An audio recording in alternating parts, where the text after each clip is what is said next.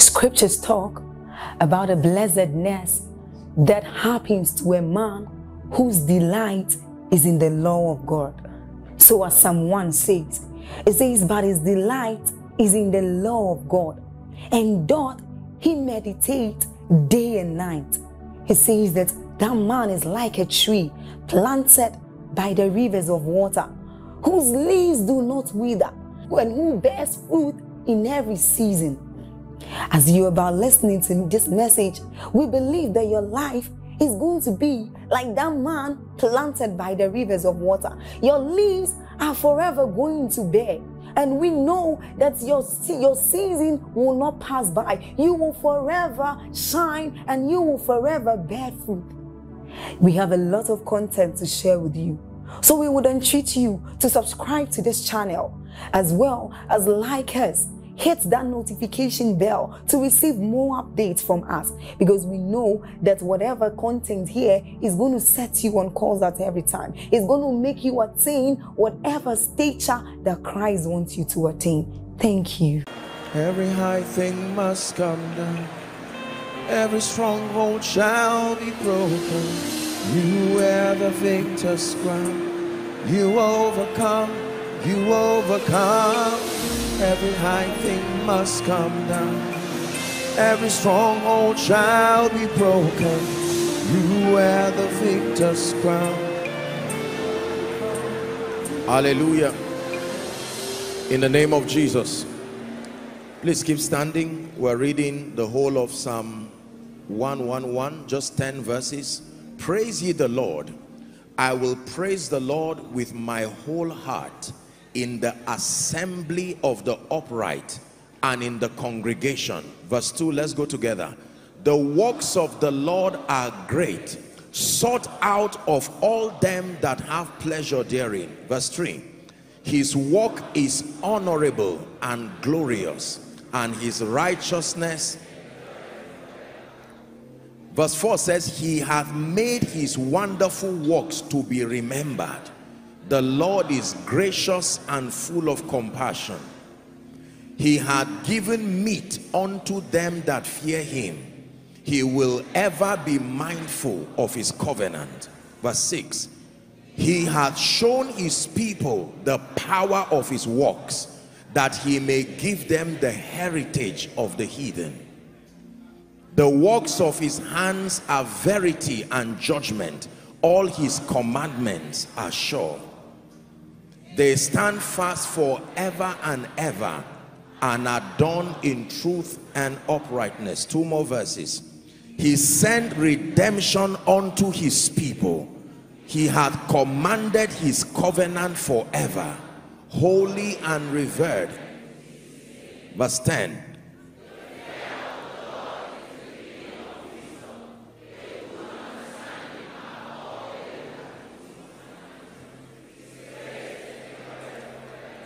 Hallelujah. I welcome you in the name of Jesus to our miracle service for the month of May. By, by this salutation, I'm prophesying to you that congratulations will never end in your life. It will be from one level to the other. In the name of Jesus Christ.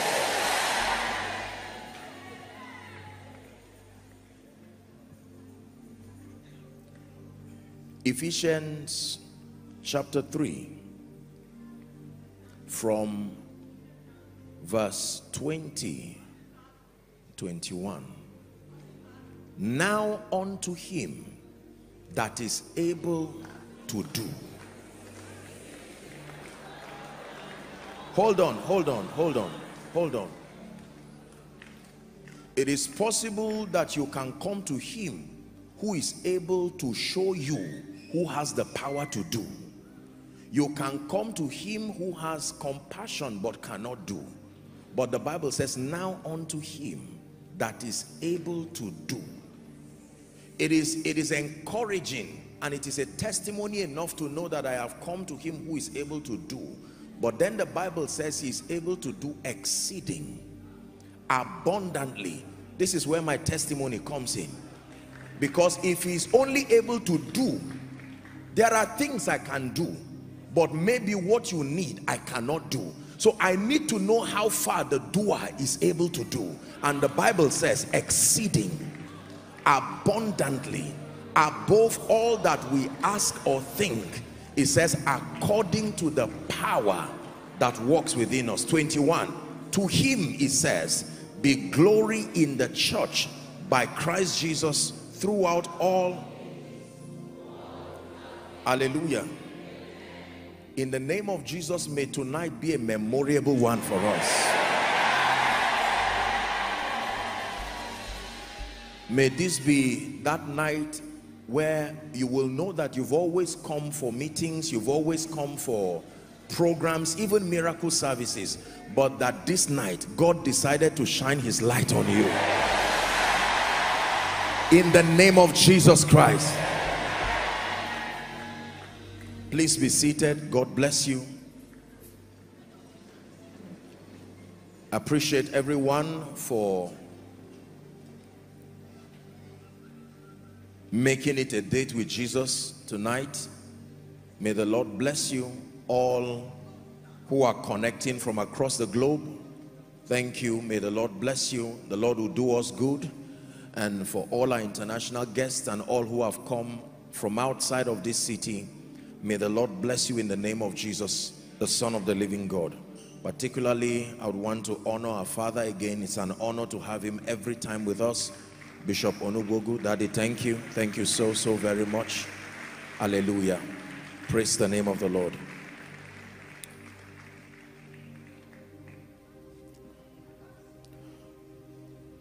Tonight is a miracle service and that means it is all right to expect anything and everything from the God of heaven. Hallelujah. A miracle service is a meeting that gives us the opportunity to experience the power, the grace, the wonder working ability of the Spirit of God. There are two scriptures I just want to give us a charge and then we'll pray. My heart is heavy with so many things that I believe the Lord wants to do tonight and I want you to be very, very sensitive. Hallelujah. As I walked in and I sat down, the Lord just put a very strong burden in my heart even before um, I begin to teach how that honestly, if no matter what you have in life, if you never get to a point in your life where you make a definite commitment that your heart and your everything is for Jesus. There are three people now the power of God is coming on. Just hold them. You don't have to bring them out. Just help them. I just saw this, but listen to me. Just, just pay attention. We'll begin the ministration of the word shortly. Three people. I saw this in my vision now. Your commitment, your heart. Listen carefully. Everything in this kingdom starts with Jesus. Not just God, Jesus. Because God means many things to many people. The foundation for all and of all that we do is our love and our commitment to the Lord Jesus Christ. And it matters, there are several people here outside and following online. We cannot emphasize it enough that the ultimate blessing in the life of a believer is not just healing, it's not just deliverance, it's not just breakthrough, but a definite encounter with the Son of the living God no matter what you have no matter what you receive and my goodness you would so receive tonight but no matter what it is that you have please listen to me. The foundation for an excelling life that's why this song meant a lot for me. It says the resurrected king is resurrecting me. On my own part i have to admit that he's the resurrected king I cannot see him as a stranger, the founder of a religion, and then I want to receive from him and not want a relationship with him. You see, you can go and meet somebody, say a herbalist or some sorcerer. He does not need a relationship with you. All he needs is your heart to be opened you can meet a sorcerer who does not know your name. You can meet a spiritist who does not know. Relationship is not mandated to receive from them. All you need to do is obey whatever they tell you to do. But when you come to Jesus with your hands, he will shift your hand gently and touch your heart. He will tell you what I need is your heart first. When I find your heart, then your hands will never be empty. Are we together? Yes. You know, most times, because of the charismatism that is around the move of the Spirit, healings, deliverances, breakthrough, we tend to exalt those things as more superior miracles to salvation. The Bible already taught us from the life of Jesus himself. When he came, he someone was looking for healing and he says, your sins be forgiven you. He said, which is greater? Are we together now? And it taught us a lesson there that in order of priority the salvation of a man is by far superior. Everybody who jesus raised from the dead still died again. Everybody who was healed in jesus's meeting probably through old age or whatever they faded out. But the one thing that could not fade was their relationship. Part of the people who said men and brethren what do we do? I am sure that they were part of jesus's crusade and yet their needs never ended until they met him. He told the woman at the well he says i can give you living water. You will fetch this one and still come back again. But there is the living water that i can give you. This one does not just quench a temporal test it will quench an eternal test. You have come with prayer requests you have come trusting God to heal, to deliver, and this is why he's brought us together. But let me tell you this. Jesus Christ, the Son of the living God, cries for a genuine encounter, a relationship that is greater and bigger than money, greater and bigger than miracles. Please let me have your attention. Greater and bigger than whatever it is that life can offer. Are we together? A miracle service only becomes useful if relationship with Jesus is intact. And there are people who can come and receive from Jesus, learn his principles, receive the anointing, receive impartations. You can return with wonderful testimonies of things that happen and yet never have a functional relationship with Jesus. Let me take it a step further. It is possible that you can come to, for an altar call and yet not be born again. It is not coming out. Coming out is just a sign to bring you out as a show of genuine brokenness and repentance. Because there are people who when we make the altar call, they only come and stand here when we are saying amen. Amen does not save you. Amen means let it be so. But it is your confession. Are we together now? The Bible says the word is nigh thee in your heart and your mouth, even the word of faith that we preach, that if you will confess the Lordship of Jesus and believe in your heart that God raised him from the dead, there is something exact you have to believe about Jesus to save you. Not every information about Jesus culminates into eternal life. If you believe Jesus is a good man, that is wonderful, but it will not save you if you believe that Jesus was a wonderful and nice man, the founder of a religion, it does not save you. You must believe that he is Jesus, the crucified, Jesus now exalted Lord and Christ. Hallelujah. Acts chapter 3 and verse 37. Acts chapter 3 and verse 37. Or 237 really. Let's look at 237. Acts chapter 2 and verse 37. Now when they heard this, this was the day of Pentecost, they were pricked in their heart and said unto one another and to the rest of the apostles, Men and brethren, what should we do? 38 now. He says, repent and be baptized every one of you how many of you everyone who needs if you are asking what do i do with my life I receive deliverance, it comes back. I receive deliverance, spirits come back. It may be that you are not saved. for the remission of your sins and ye shall receive the gift of the Holy Ghost verse 39 it says for the promise what promise the promise of salvation first and the blessing of the spirit that follows is unto you and to your children and to all them that are far off even as many as the Lord our God shall call so my first concern tonight is the salvation of your soul and then for others a, the determination to start a genuine functional relationship with Jesus. Now, it doesn't matter how it has been before now. The most important thing is that, you see, today is a powerful gift. Today gives you dominion over yesterday. Today is a gift that no matter how or what yesterday was, if God gives you the gift of today, then he has given you an opportunity to make it right. Apostle, I heard the altar call last week somewhere, but I was not willing to come out because I just felt that um, this Jesus thing, I don't want to be a fanatic. Unfortunately, the Bible tells us that only those who believe in Jesus Christ and receive him by faith, that they are the only ones who are recipients of eternal life.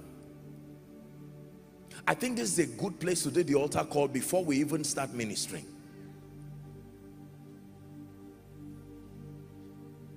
There is no living church that is alive and serving the purposes of God sincerely and working in compliance with the principles of the kingdom that God will not continually add every time as many as should be saved.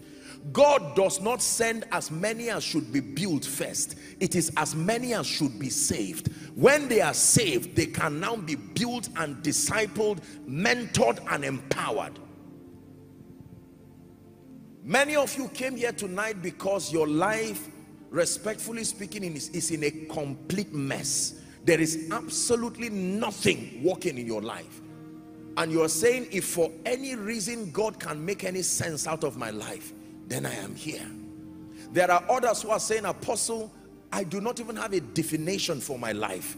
As I'm standing or sitting here, whether outside and even following online across the globe, you're saying, Apostle, as I'm listening to you, the Holy Spirit is telling me that my relationship with Jesus is faulty or not even there.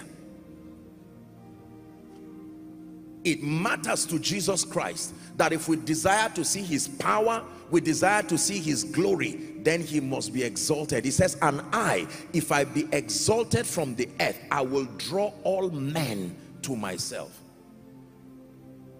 Hallelujah. So there are people here seated. As you're listening to me, the Holy Spirit is convicting you. And he's telling you that the time has genuinely come. The time has sincerely come for an encounter with the Lord Jesus Christ. The time has come for you to win that war of destiny. The time has come for you to start a journey. A journey that redefines your entire life and it has nothing to do whether you are young or old rich or poor exposed or not male or female. It does not matter. It says for God so loved the world that he gave his one and only begotten son. Jesus was speaking to Nicodemus. It says that everyone that believes in him should not perish. That means you are not supposed to perish. You can choose to perish, but you should not perish. Not after the new and living way has been made available for you. It says, but have life everlasting. Verse 17, we'll read to 18. 17 says, for God did not send his son into the world to condemn the world, but that the world through him might be saved.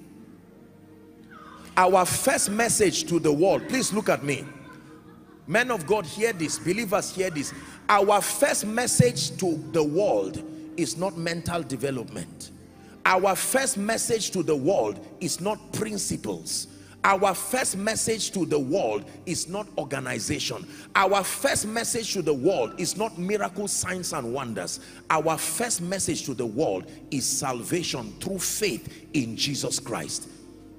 Other messages will now find relevance only if that message has been sorted out.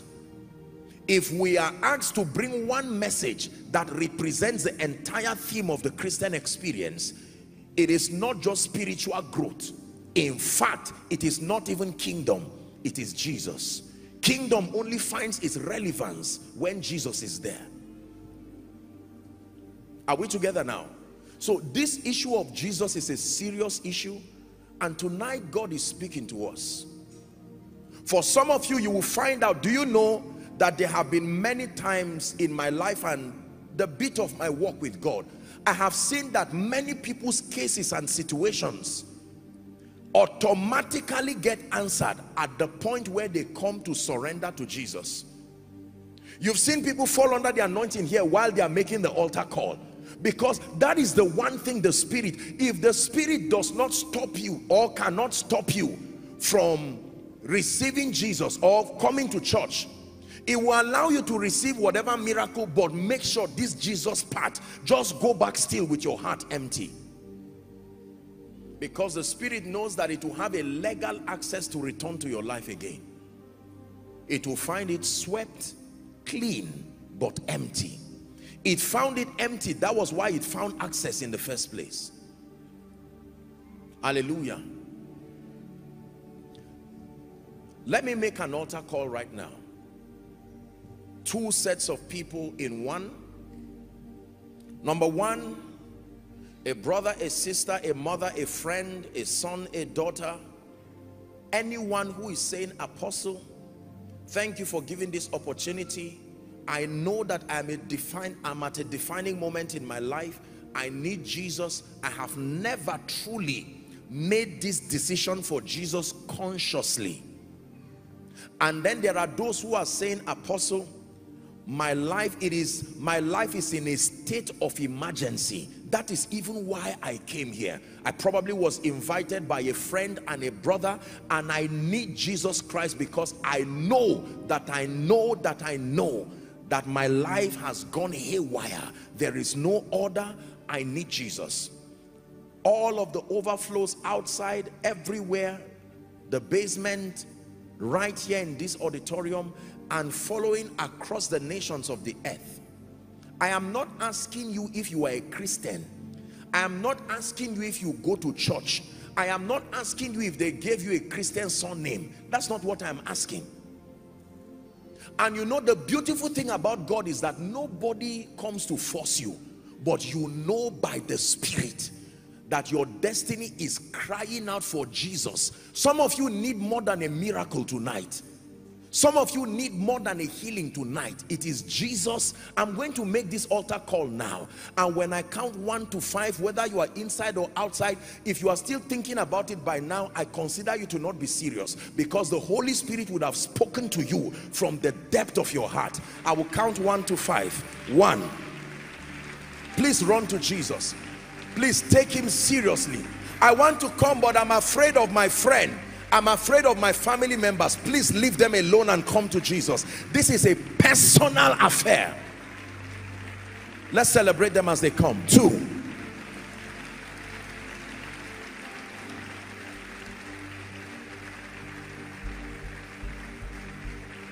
Yeshua. Ah, ah, ah, ah,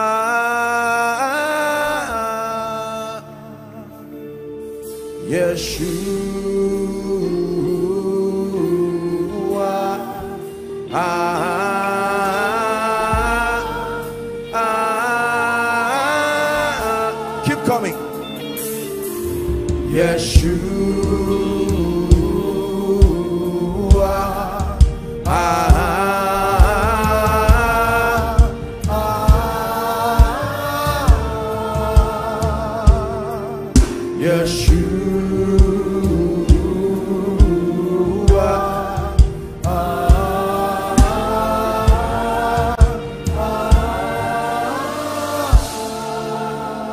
Listen, let me tell you, many of you here who are here, at the point you are praying that salvation prayer, you will be surprised that your deliverance will even begin even without going to that section. This is the he said i am not ashamed of the gospel of christ for it is the power. It didn't say it has power. It is the power of god unto salvation. Your declaration is closing that door permanently. Yours is the kingdom yours is the power yours is the glory forever. Amen. Yours is the kingdom yours is the power yours is the glory forever. Amen. Yours is the kingdom. Yours is the power, yours is the glory. Yours is the kingdom, yours is the power, yours is the glory. Yeshua. Ah, ah, ah.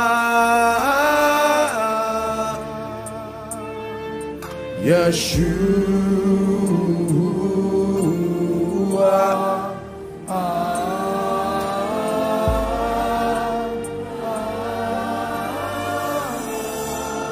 Now listen please. I'm going to lead you in a prayer.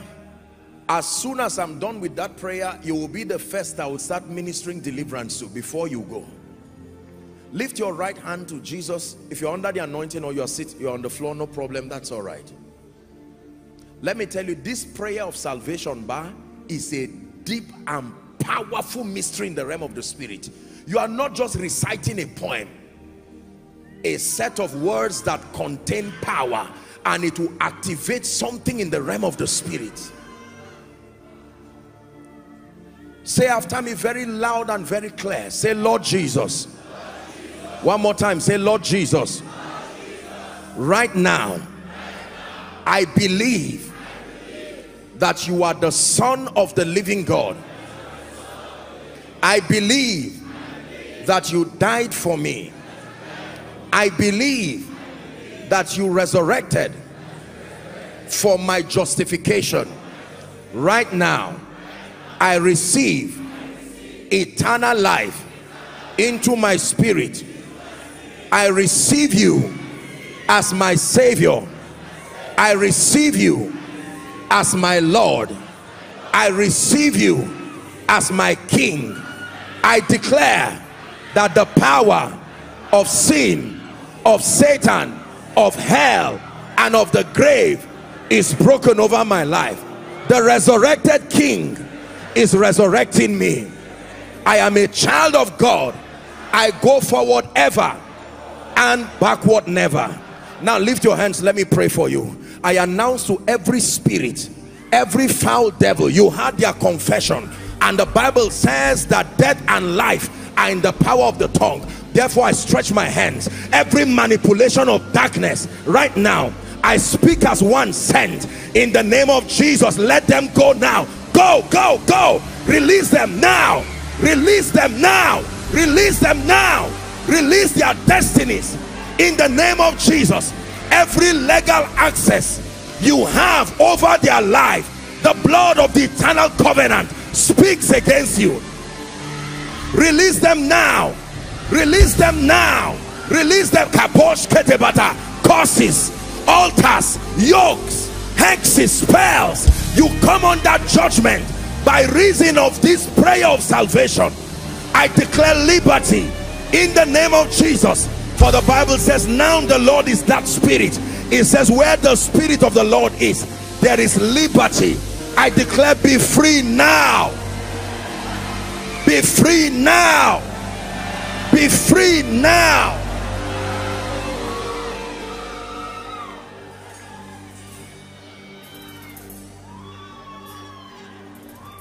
by reason of this decision everything that has been tied down over your life I decree and declare be released now. Be released now. In the name of Jesus congratulations for making this noble decision. Every single one of you. It was not an ordinary confession believe me. Even if you've said it before you may not have said it with understanding. But right now you have made a decision that will change the course of your life. Now here's what i want to you to do. Please all of you follow very carefully. Now i want you to move to my right there are counselors waving their hands. They will attend to you very quickly and then you return. Please counselors let's okay um from here half of you those who are here please move to my left this way and then to my right very quickly. Those under the anointing that's all right. Um if you can't take them you can just leave them there. Hallelujah. Please attend to them very quickly so that they can join the service. There is a lot for us to do tonight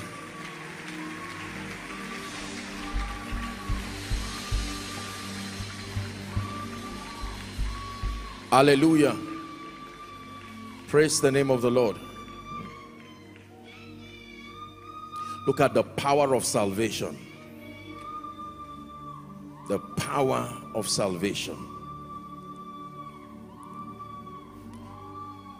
Tonight God is going to be healing and God is going to be restoring these two things. Among the many things that God is going to be doing there's going to be healing and restoration even by his spirit Jeremiah chapter 30 please be seated if you can may God bless you Jeremiah chapter 30 and verse 17 this will be our anchor scripture for tonight. Hmm.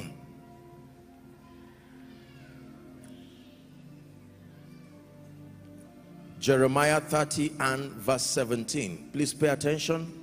I'll charge our hearts and then we'll get to the ministry of the Spirit.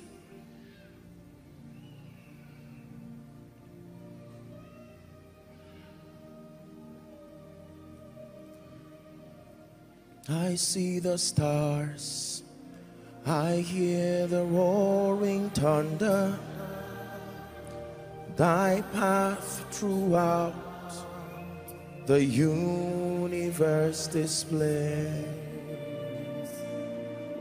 Then sings my soul, my Savior God, to thee. How great thou art. How great thou art. Then sings my soul, my Savior God to thee. How great thou art. How great thou art. Jeremiah 30 and verse 17. Let's read together. Please be very sensitive. There is such a mighty and marvelous anointing of the Holy Spirit here.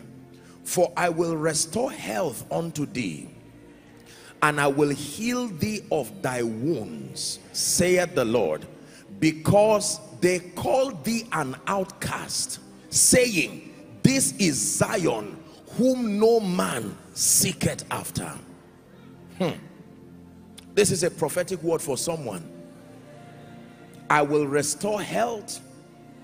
It never said, I will heal thee of thy sickness because it takes more than sickness to need healing it says i will heal thee of thy wounds saith the lord why because they have called you an outcast saying this outcast even though he is called zion no man seeks after you.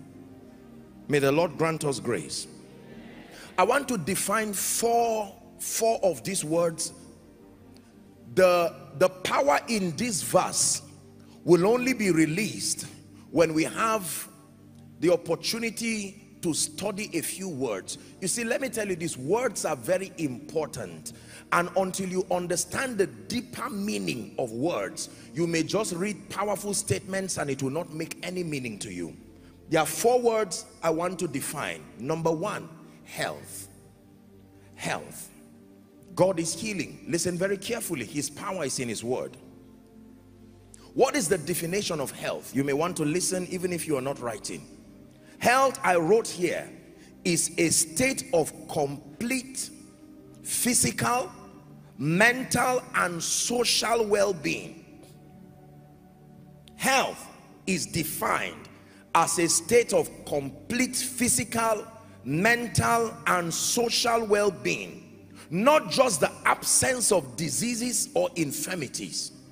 That means that when we talk about health, it is more than just the absence of diseases or infirmity. That is a major definition of health. But that in addition to the absence of diseases or infirmities it means a state of physical mental and social well-being. Is someone learning? I wrote down here health in one word is liberty. Health in one word holistically defined is liberty. If you want to define health in one word it's more than freedom from an infirmity. Health in one word is liberty. Second corinthians chapter 3 and verse 17 second corinthians 3 let's walk together media. Second corinthians 3 now the lord is that spirit it says and where the spirit of the lord is there is health. There is health. If you see health as something only sick people need you may never contend for it. Physical mental and social well-being. In one word health is liberty freedom that means when you have the liberty you are healthy to the degree to which you have liberty. One of the assignments of sickness is to constrain you. Is that true? For instance if you have a problem with your limbs why do you call it an infirmity? Because it has now constrained you. You do not have the liberty to do things as fast as you would want to do the assignment of ill health is to incapacitate you in some way. And we're saying here that my definition of health in one word is liberty. I have studied various definitions of health and I can tell you in one word health is liberty. No matter how you define health if liberty is not captured in it then it is not health. Are we together? Definition number two the word heal or healing. The second word we want to look at is the word heal. All from Jeremiah 30 and verse 17 I just thought to do the definitions and then the the richness in that scripture will come to you. The next word is heal. Because that is what the Lord said he would do. So we need to know what is in his mind. When God says I will heal thee what does he mean what does it mean to heal or to be healed? To heal means to make someone or something sound and healthy again. To heal means to make someone or something sound and or healthy again. To heal means to make someone or something sound and healthy again. Another definition of healing. To heal means to become mentally or emotionally strong after a bad experience. To heal means to become mentally and emotionally strong again after a bad experience. Take note of these definitions. To heal number one means to become sound or healthy again Number two, to heal means to become mentally and emotionally strong again after a bad experience. Take note of the words again. Again means something corrupted the initial state and now there is a need to go back again. To become mentally or emotionally strong after a bad experience. The third definition, to heal means to restore back to an original or better state. To heal means to restore back to an original or better state. Is that scripture making sense now? To heal, number one, it means to become sound or healthy again. Number two, it means to become mentally or emotionally strong again after a bad experience. And then number three, to heal means to restore back to an original or better state. Now you can see the scripture. We're piecing this together very quickly. For I will restore liberty. Are we together now? Unto you freedom, access, and I will heal thee of your now it makes sense with this definition why it didn't say I will heal you of your sickness. If he had said sickness or infirmity then it will limit it to a group of people. But he said I will heal you of your wounds. That becomes our next definition. In fact I didn't do justice to the last definition of healing. To be restored back to a state of health vitality and optimism. To be restored back to a state of health vitality and optimism. Now let's define wound. W-o-u-n-d wound. Because god is saying that he is going to heal us of our wounds. So what is he talking about?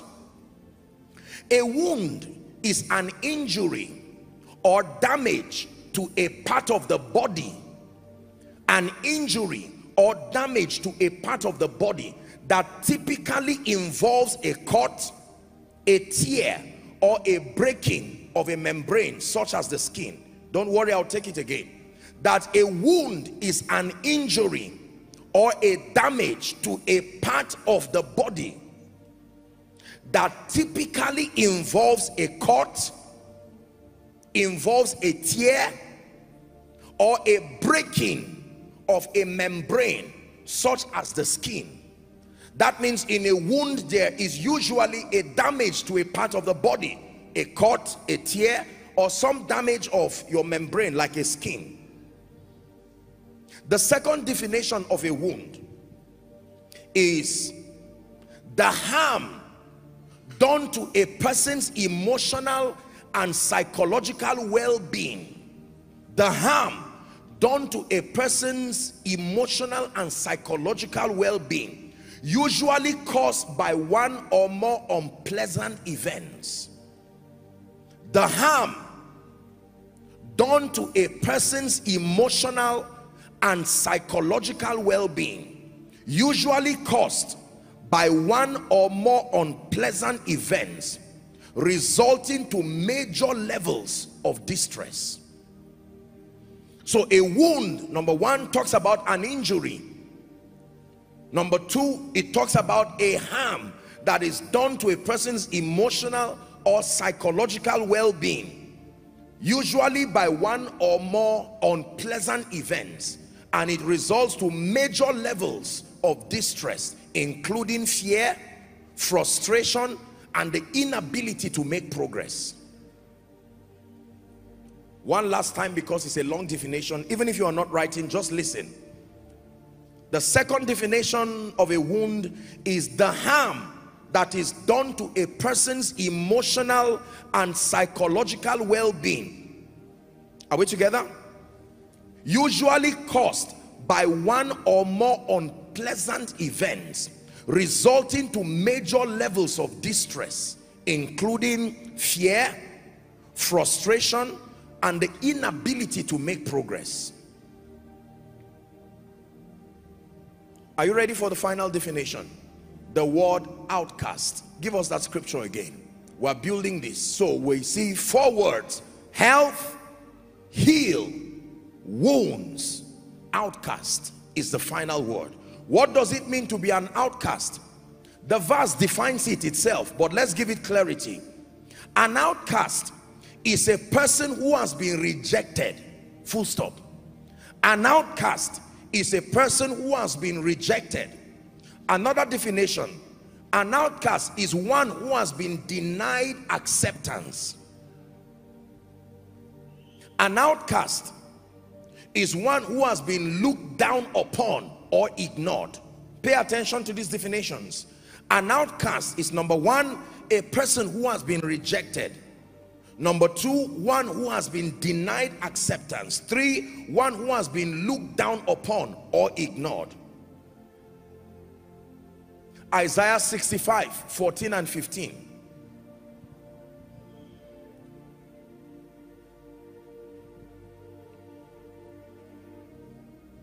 Or did I get that right? Let's look at 15. Give me 15.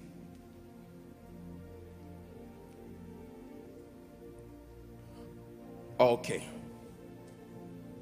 14 and 15. Let me read it. This is scripture I'm looking for. Behold, my servant shall sing for joy of heart, but he shall cry for sorrow of heart and shall, no, no, no, no. And the Lord shall give you a new name. I'll, I'll, I'll look for the scripture, which the mouth of the Lord. That's verse what? Isaiah 62. That should be 62. Am I right? Let's look at 62. Isaiah 62 verse aha beautiful it says thou shalt be called by a new name which the mouth of the Lord shall name look go to verse 14 there is an expression 14 not 1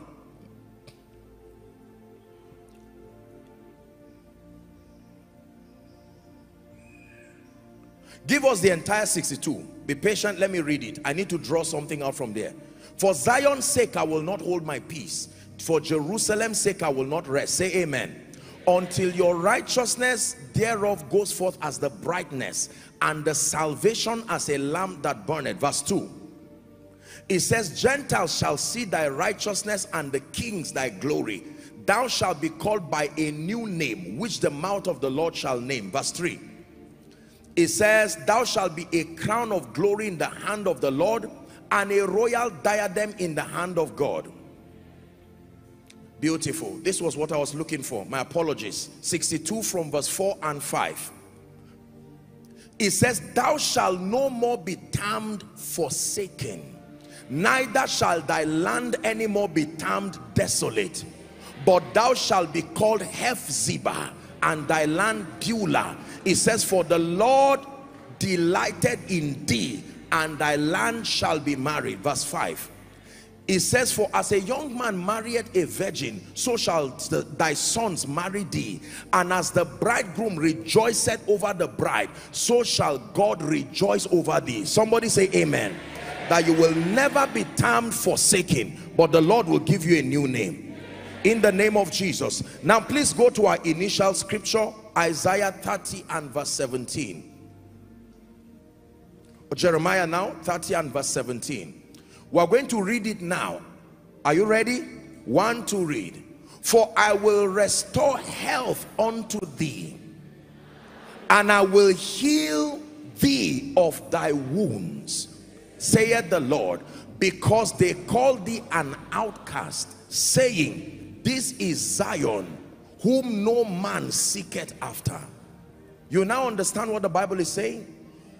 That God wants to do many things in your life. Number one is to restore you to a state of vitality and liberty and then to bring restoration to leave you in the state you once were if you have de deteriorated and even a better state and then he says to heal you of your wounds all kinds of wounds physical wounds emotional wounds spiritual wounds because the bible says a broken spirit can dry up the bones and then he says where you have been an outcast rejected Did I define an outcast? Okay, yes, I did.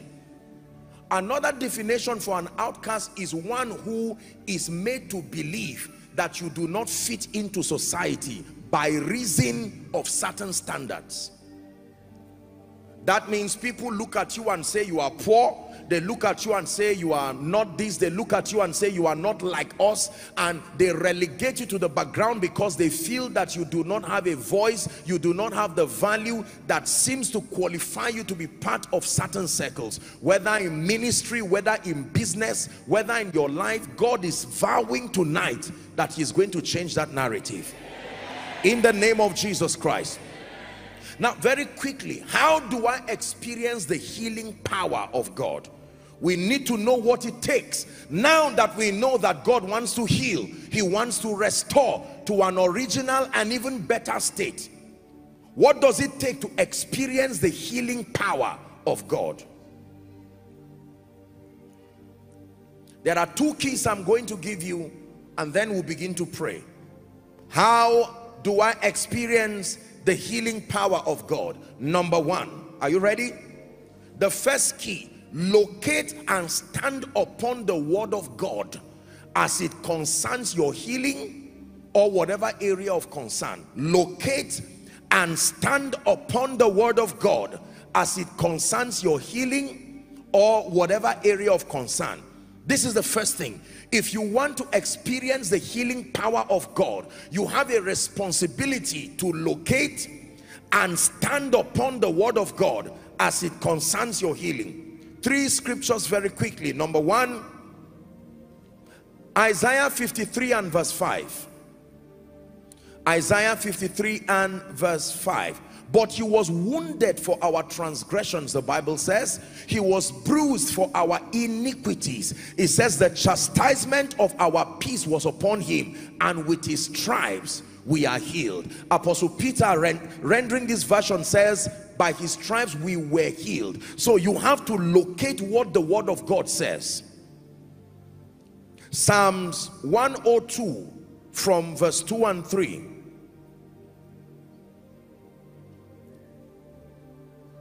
In fact, let's start from verse 1. I hope I got that right. Please, if I didn't, look for it for me. Bless the Lord, O my soul.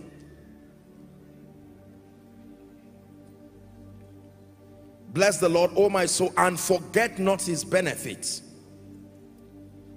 Making a mistake type. Okay, 103. Bless the Lord, O my soul, and all that is within me, bless his holy name it says bless the lord o my soul verse 2 and forget not his benefits now what are the benefits number one verse 3 who forgiveth all thine iniquities. Are you seeing the protocol now? He starts with forgiveness and then who healed all thy diseases. In fact we add verse 4 it says who redeemed thy life from destruction and then he crowns you with loving kindness and tender mercies. These are all called benefits so you must locate from the word of God what has God said concerning my healing. What has God said? I have taught you countless times here dear people of God that the boundary of a believer's commitment God's commitment to the believer is scripture. Scripture represents the jurisdiction of God's commitment to the believer. Hallelujah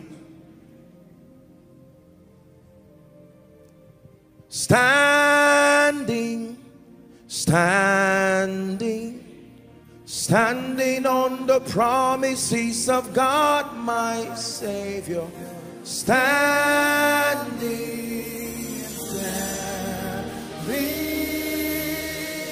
I am standing on the promises of God. One more time.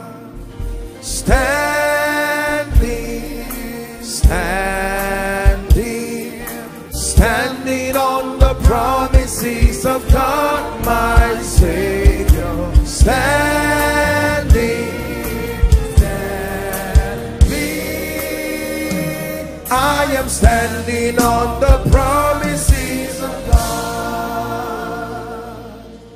Please look up. Let me tell you something about the word of God. until you can find it in scripture the the verse and the scripture that directly addresses your area of expectation or your area of concern believe me there is no confidence that God is committed over that issue.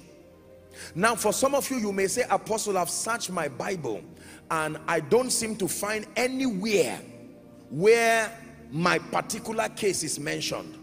I will show you that all the cases that you have that may not seem to be in the Bible there is a category where the Bible keeps them. John 20 John 20 from verse 30 and 31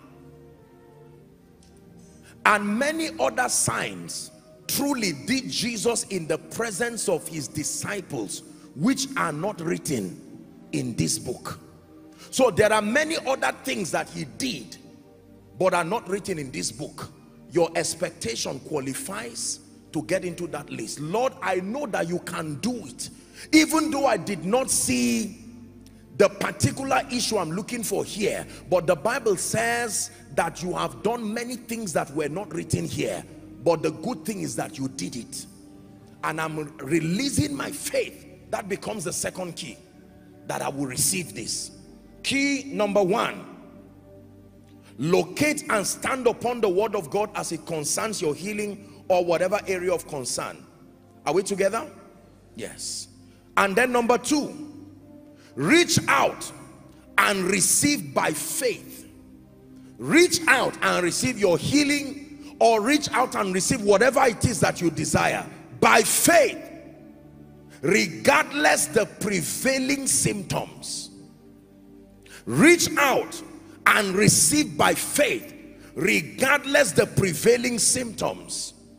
I put symptoms here because we're talking about sickness but it applies to whatever area.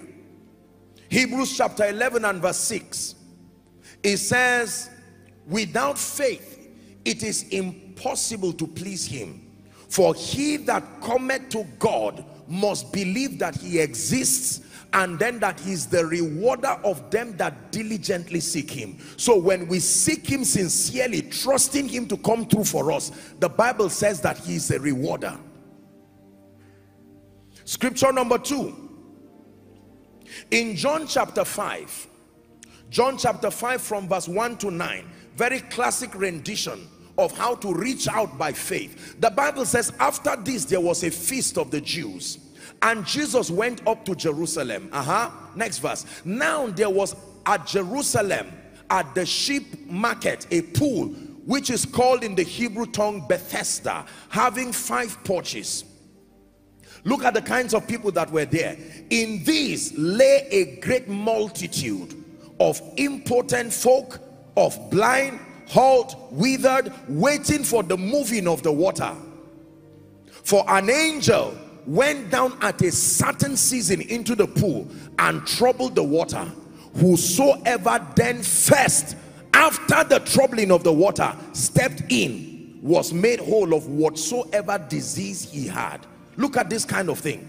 And a certain man was there which had an infirmity 30 and 8 years. Do you know the first thing about this story please go back to verse 5 I would have been concerned or I would have been less concerned if the Bible said there were certain people who stayed there very long. The first thing the Bible tells us is that there was a multitude of impotent folk. And then he now isolates one man and says that one man among the multitude had been there 38 years. If he said there were 10 people or 15 people, you will know that it was not unique to one man. That means there was something wrong with this one man that multitudes will come and go. Multitudes will come and go but that one man remained there. Verse 6 when Jesus saw him lie and knew that he had been now a long time in that case he said unto him watch this now. Will you be made whole? That was a question. Watch the man's answer. The impotent man answered and said sir I have no man. When the water is troubled was that the question you see why the guy was there?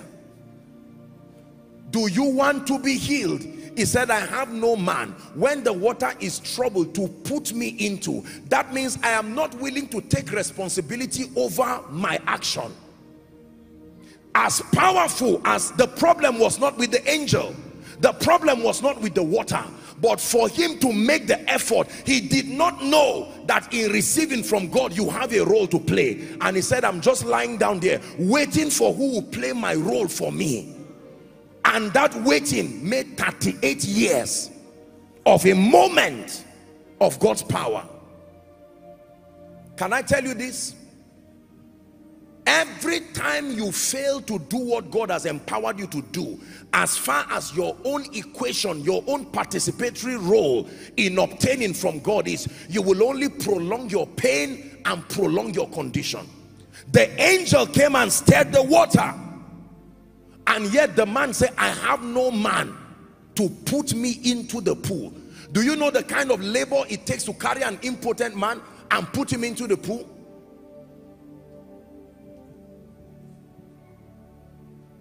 But while I am coming, another stepped down before me. That another that stepped down before him, was he the only important man there? The Bible says they were important men. Carelessness. And he just felt one day and he became 38 years. Look at the mercy of Jesus, verse 8. And Jesus said, all right, now I want to give you a chance to learn how it works you will think that Jesus will hold him. Jesus said, rise. It was the same thing. Rise. Which one is easier, roll or rise? I mean, you went to school, roll or rise. Jesus comes and you will think the equation will change. Even if you meet Jesus, it will still take the same fate. Rise then take up your bed. At least if you fall into the water you will not take up your bed. It's just to roll. Jesus said rise take up your bed and walk. And finally nine. So he had that ability. He always had it. It was a flimsy excuse he was giving. If that man could rise then it means he would have been able to roll and immediately the man was made whole and took up his bed and walked on the same day. And it was a Sabbath. Can you imagine that? Look at me please even if Jesus Christ, the Son of the living God, appears here directly to replace me, you would think just because he has come, you will start rejoicing. I assure you, there will be people who will live without receiving anything to the point that you will suspect if, if this was Jesus or not, because his coming will not push away the need for faith. Are we together now? It will always take faith in the word of God to receive you must believe that God has come through for you and then you take the corresponding action by faith. Romans chapter 4 from verse 18 and 19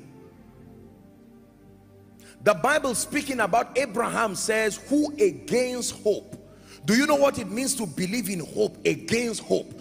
Against hope means that there were evidences glaring before him that would tell him you may never have a child again. For him and his wife Sarah. But the Bible says against hope regardless the symptoms regardless whatever it is he believed that he might become the father of many nations according to that which was spoken.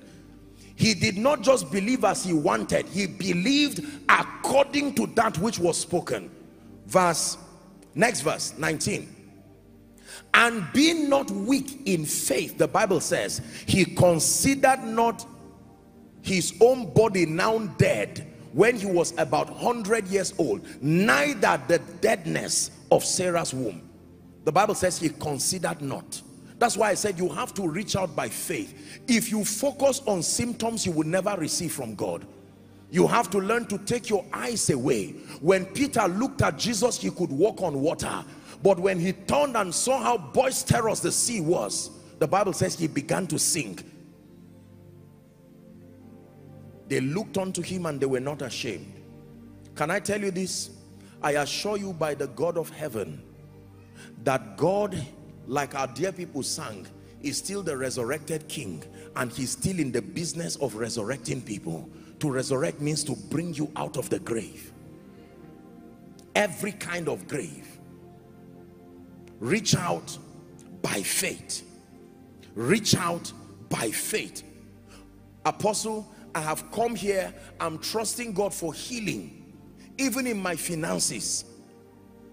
My own is that my finances, nothing is working. When the word of God comes, that God is able to bless you and to lift you, it is your responsibility to reach out by faith. How do you reach out by faith? Believing that God is able to step in and then finding out what you what role you need to play to release the power of God. In fact, let me give us a third key. The third key, if I'm to give us anyone here, will be expect the anointing to flow in response to your faith. Expect the anointing to flow in response to your faith. Because the anointing of the Holy Spirit is the power, it is the agency that actually brings the results. Faith is a means of connection. It connects you to the power of God. But the agency that does the work is the anointing, the power of God.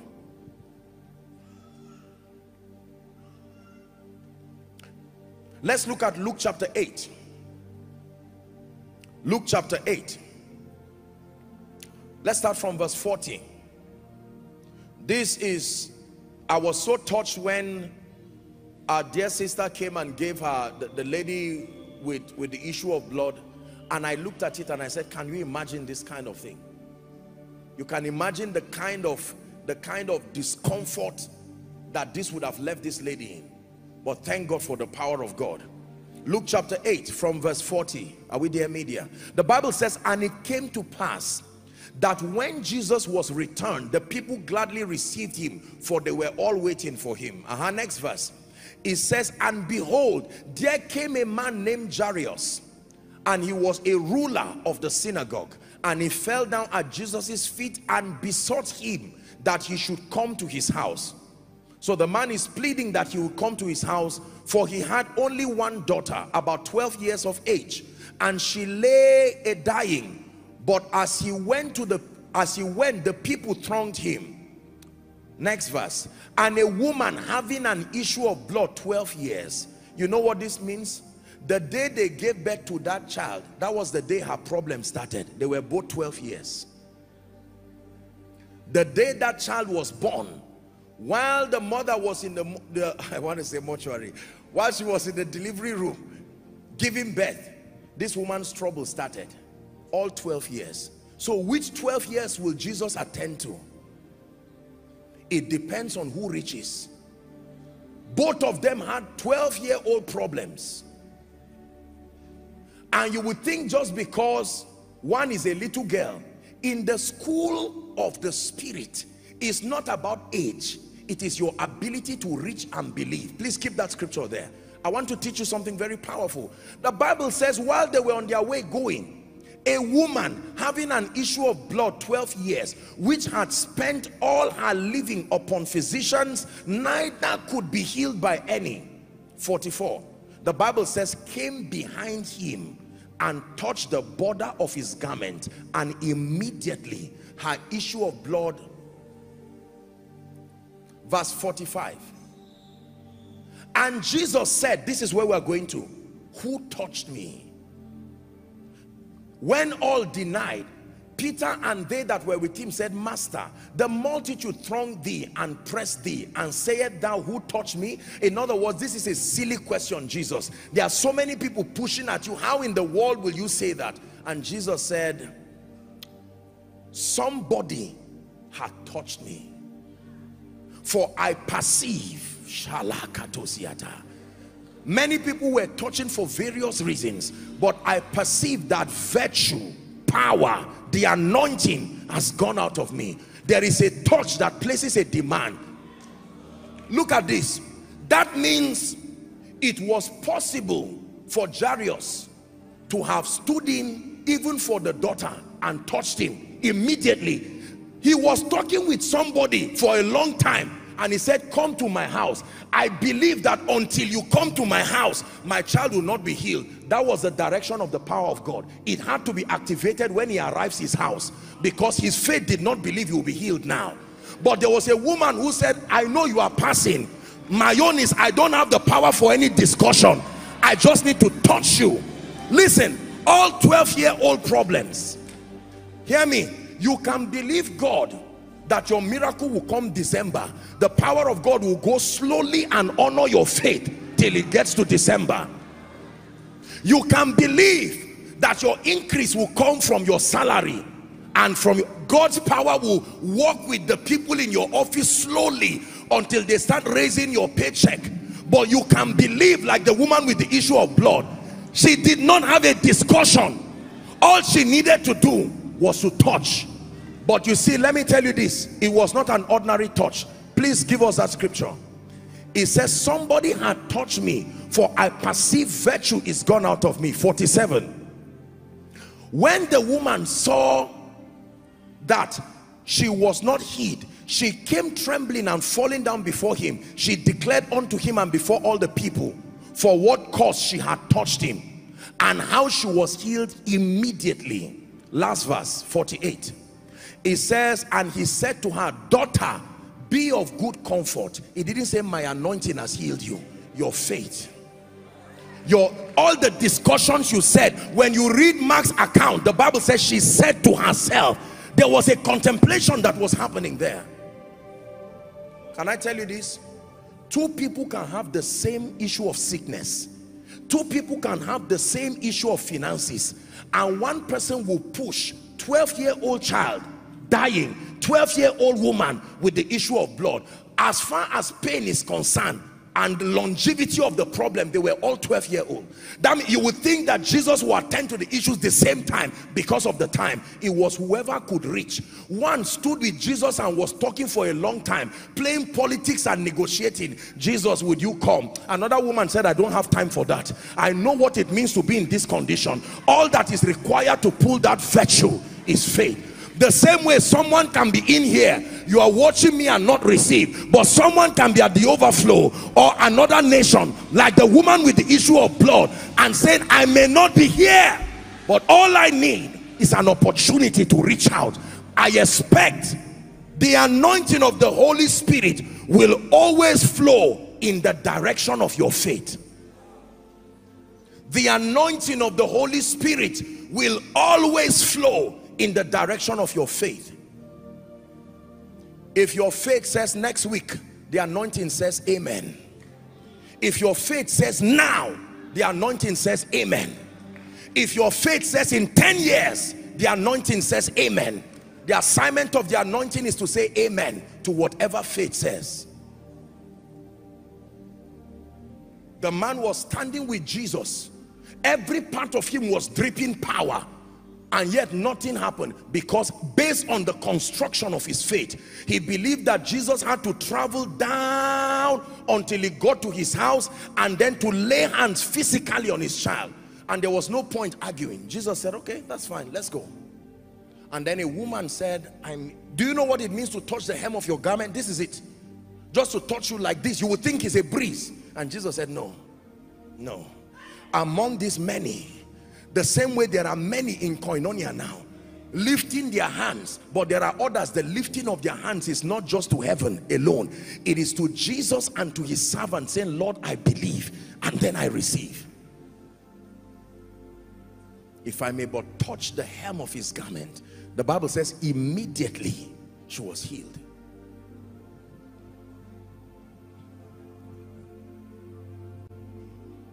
I've seen a bit of the power of God in my life and I understand a bit about the dynamics of the anointing by the grace of God. Do you know, I have traveled for meetings where sadly, I have seen certain people not touched and yet the, the major dimension of the anointing that flowed in that meeting was over those kinds of cases. And why they were not touched, sometimes it would surprise me. And then later on, you would be going out and find out that other people, maybe security people or somebody out there will now call and say, you cannot imagine what happened to me. And I'm saying, but it cannot be God. God cannot be that unfair. Proximity to an anointing does not guarantee reception. Proximity to an anointing does not guarantee reception. It takes a revelation of faith. You connect to the anointing by faith. If you have the privilege to have proximity to the anointing, then you can receive. But with or without proximity, your faith can reach any part of the globe. Proximity to the anointing. Listen to me. There is nowhere in this auditorium or outside or across the globe where the power of God cannot reach. You can choose to be Jairus tonight and say, Apostle, you have to come and walk. Let's go through that intellectual journey until we get to my house. The only issue is that sometimes the concerns in your life may not allow that wastage of time. It may be too late by the time he gets there but like the woman with the issue of blood it can happen right here. Right here. Right here. Ruach Elohim. Ruach Elohim. Ruach Elohim. Ruach Elohim. Ruach Elohim Ruach Elohim Fill this place. Ah. Shalanda Baratos Yada Ruach Elohim. Ruach Hear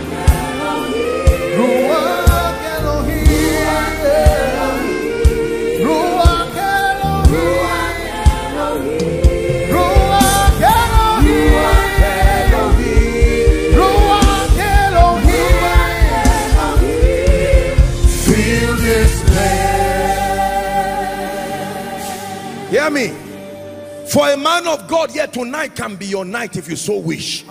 Lord, why are things not working? Ministries not working. There is no increase. You have been wounded because it looks like you push your effort. Healing is coming for you if you can receive. Apostle, my issue is not 12 years old. My issue is 30 years old. Welcome to the one who is able to do. Able to do. No matter how long. When you meet him, you meet his power to heal, his power to deliver, his power to change. Apostle, I'm desiring A, B, C, D. Can God step in for me? Yes, the God of the Bible. I don't know what God you are talking about. But if you mean Jesus Christ, the one who is the resurrected King, Lord and Christ, I assure you it is within his power. And tonight can be your night Tonight can be your night. Tonight can be your night. We're going to pray. It will be such an extraordinary move of the spirit in this place. Listen, the most important role that you have to play tonight is to reach by faith. There is a buffet, the table of his majesty is prepared and set before you for all kinds of healing financial healing emotional healing spiritual healing restoration of fire honor dignity favor. You are tired of the workings of darkness in your life. In the next one minute i'd like you to pray from the depth of your heart and make up your mind. Say lord tonight is my night. Like the woman with the issue of blood you came as a family agree as a family. You came as an individual agree as an individual. You came as a business agree. Come on lift your voice and pray. Talk to the god of heaven.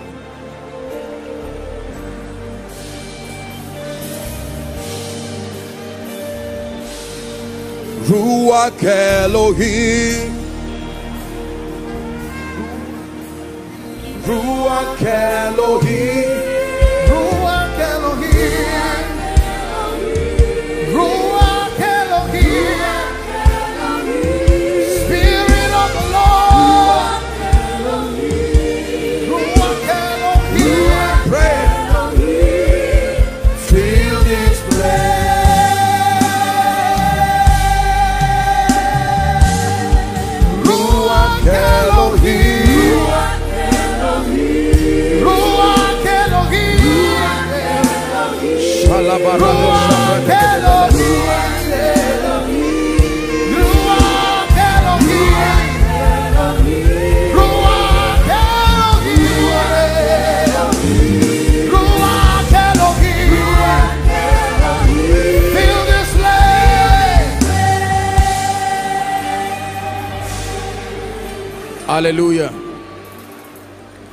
There is such a mighty anointing of the Spirit here. Please listen. You are going to pray one prayer. Lord, in this miracle service, everything must walk in my life. Must walk in my life. Open your mouth and pray. Everything, everything must produce results. Everything, shalandegapata, must produce results. Someone is praying. Everything everything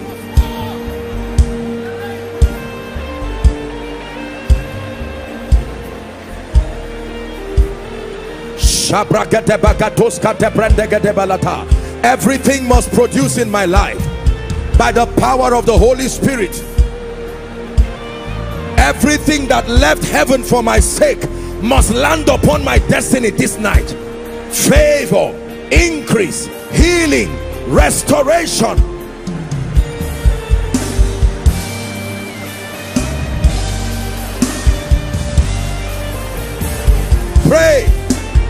Shebada kata brande gede balaka tosh kate brande.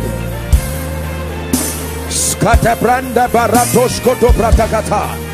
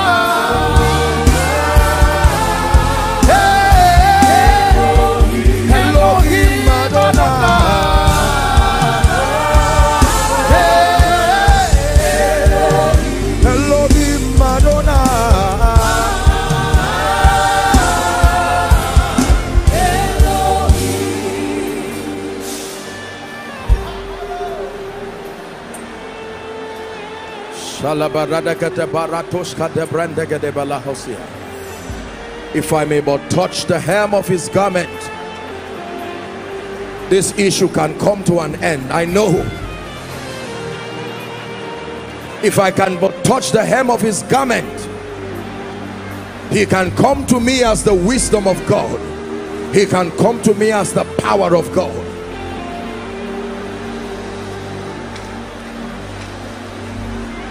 Pray one more minute. You're not wasting your time. You're releasing your faith.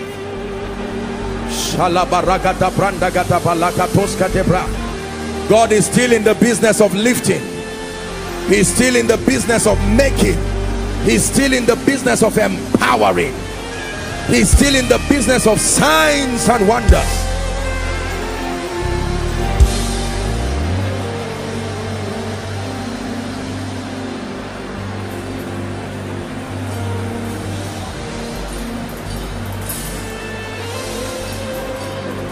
Shadebegeta sopranda gadabalakosi.